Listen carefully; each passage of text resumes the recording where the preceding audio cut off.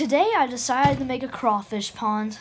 It may look very muddy as you get into the video, but I, I just made it two minutes ago, so it should look pretty muddy.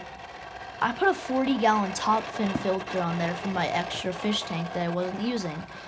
It turned out pretty good. Don't mind what's at the end.